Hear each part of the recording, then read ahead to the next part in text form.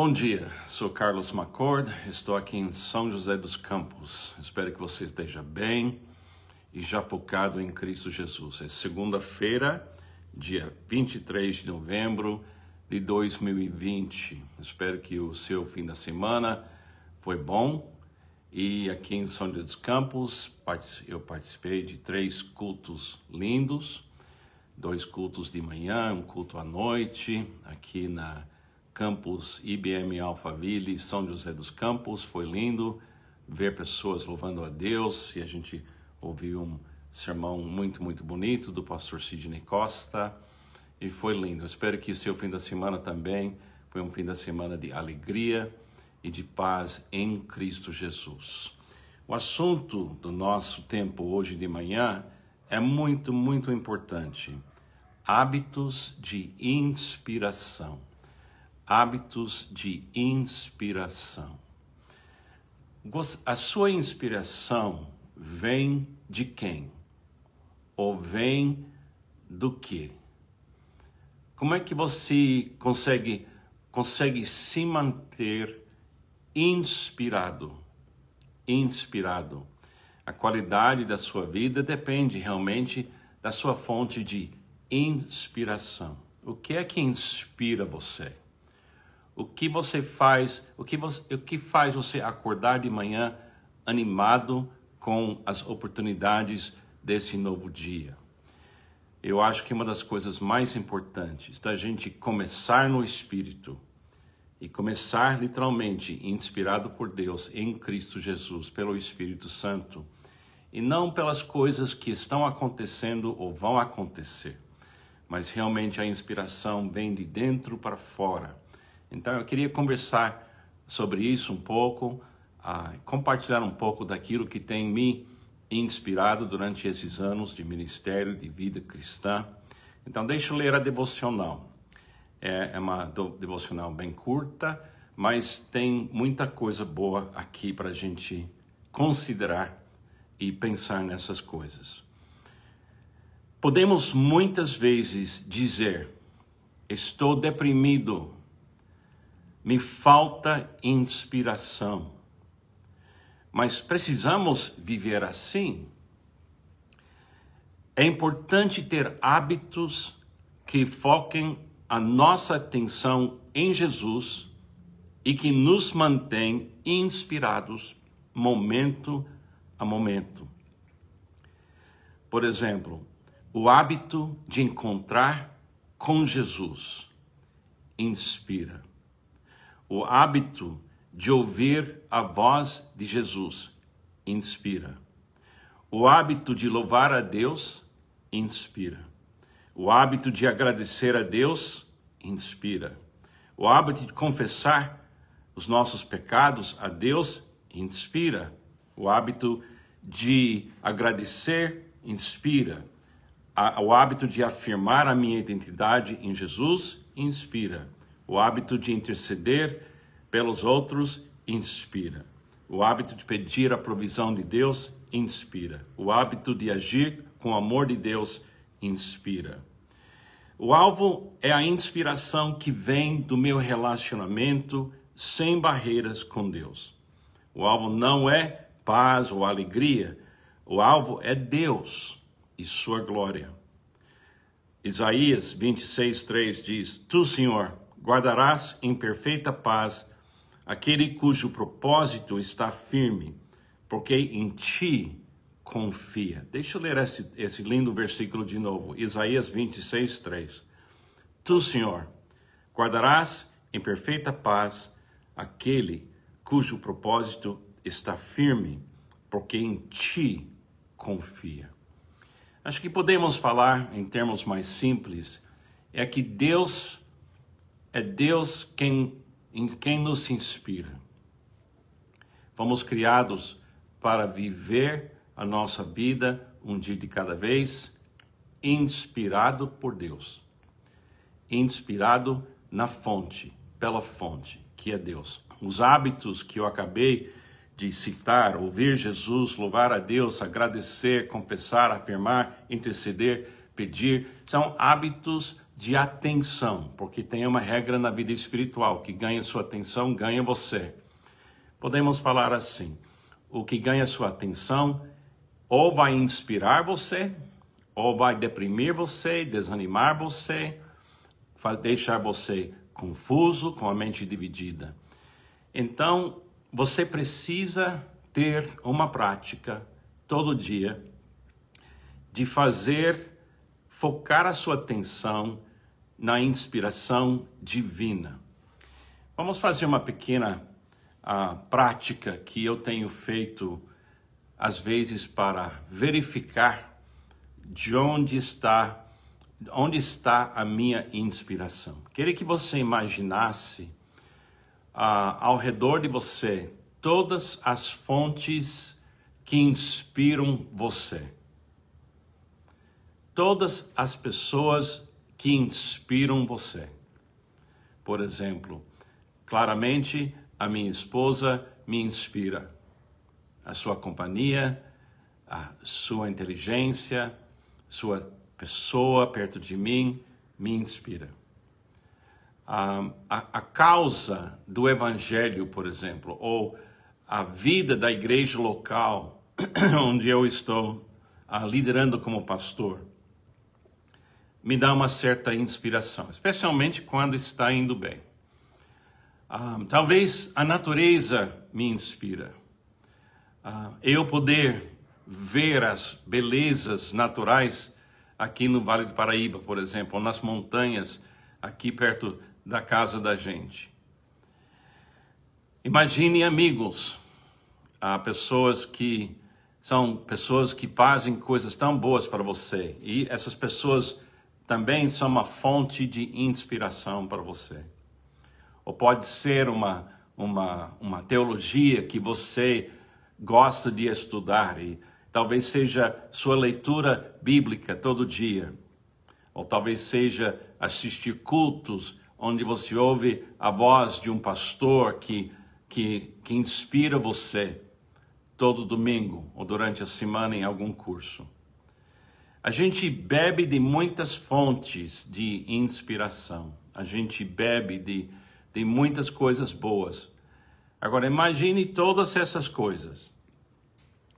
Agora imagine que ah, de repente um por um essas fontes não estão mais perto de você. Imagine que todos esses apoios, essas inspirações vão saindo de cena e você está sozinho. Sozinho mesmo.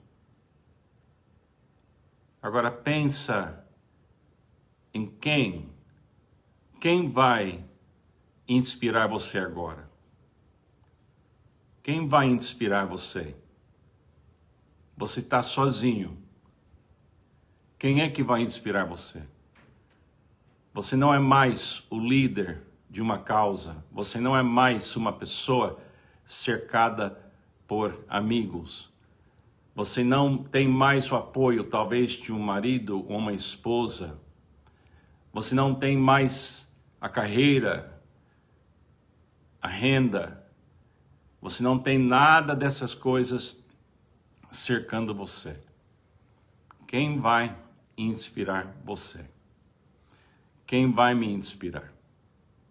Agora, ouça uma declaração que eu sempre faço: quem tem Jesus não tem falta de nada. Agora pensa em você sem esses apoios. Jesus é suficiente? Será que só Jesus, somente Jesus consegue inspirar você? Me inspirar? Será que é a verdade? Quem tem Jesus não tem falta de nada? Será que é verdade? Cristo é tudo e ele vive em mim? Agora pensa em Jesus. Aqui neste mundo, o Filho do Homem, o Filho de Deus. Quem estava inspirando Jesus aqui neste mundo? O que estava inspirando Jesus aqui neste mundo? Ele estava sendo inspirado pelos a companhia dos seus discípulos? Ele estava sendo inspirado pela beleza natural do mundo? O que estava inspirando Jesus?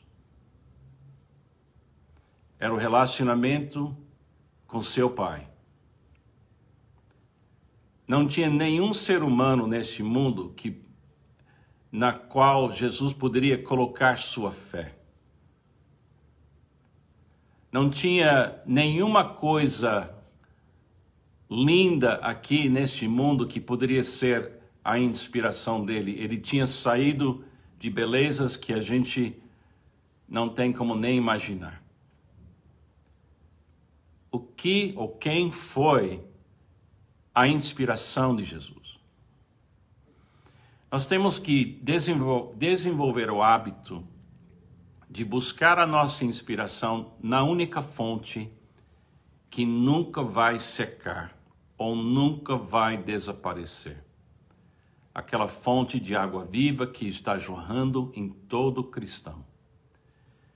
Se você tem o apoio de um, um marido ou esposa, amigos, uma comunidade cristã, cultos, cursos teológicos, rádio cristã. Se você tem um monte de conexões que deixa você inspirado, porque você mistura todas essas coisas e você pensa, minha vida é tão boa, é tão rica, porque eu tenho essa pessoa, aquela pessoa, aquela outra pessoa, Fique contente, louve a Deus por essas coisas, mas, saiba disso. Nenhuma dessas coisas pode ser a sua inspiração que vence o mundo. Somente Jesus pode vencer o mundo. Somente Jesus pode inspirar você. Por isso ele fala que você tem que negar a si mesmo tem que negar até os relacionamentos de família e colocar ele bem no centro. Bem no centro. E você começa todo dia em Cristo, porque nada pode nos separar do amor de Deus que está em Cristo Jesus. Posso dizer uma coisa a você de uma forma bem honesta? Jesus tem que ser a sua inspiração. Se você está se inspirando num pastor, numa teologia legal, numa comunidade que está crescendo e expandindo, se você está alegre porque você tem essa carreira que você tem, saiba disso. A realidade é que essas coisas são temporárias.